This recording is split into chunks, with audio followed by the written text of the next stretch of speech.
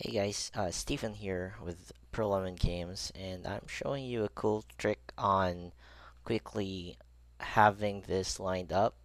If you notice, we have a block here and a cylinder. Both both is a brick, and you see that the lining is different.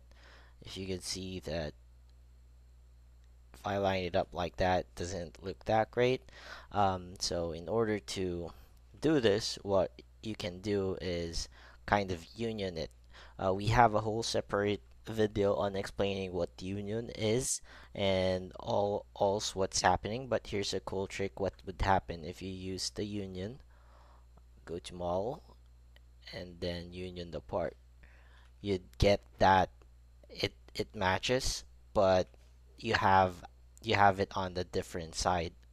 It's kind of making it on the first on the cylinder because I click the cylinder first. But if I click the brick first and I press union, it's gonna go that the the main part would be the first one you click. So I hope you learned something on this video and if you do, press that like button and if you found value too uh, on our channel, press that subscribe button and if you have any question, just comment down below and catch you on another video.